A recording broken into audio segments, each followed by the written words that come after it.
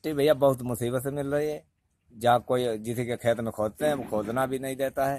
खेत में या ताल में जाते हैं तो अपने जो है नहीं उस ज़मीन मट्टी बनाने वाली तो दूसरा खोदने देता है तो बड़ा मुश्किल में पोट पाट के कैसे जैसे खोद लेते हैं थोड़ी बहुत। उसको फिर फोड़ते हैं, फोड़ के चलनी पे छानते हैं, छान के उसको बड़ी बड़ी बीच में कर कर फिर उसको भिजे देते हैं।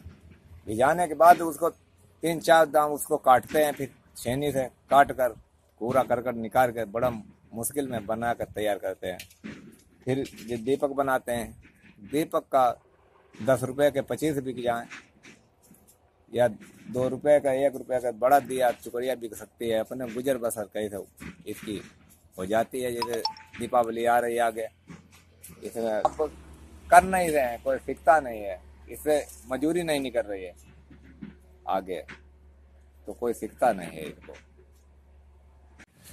हम मोदी से यह कहना चाहते हैं, जो मोमबत्ती झालर ये बंद हो जाए तो इससे बच्चे जो हैं, जो इसको बनाने लगेंगे सीख लेंगे तो अपने पोल पर्सन पुरानी किसी चलने लगे तो करने लगेंगे, जो इनकी हो सके बंद करने की।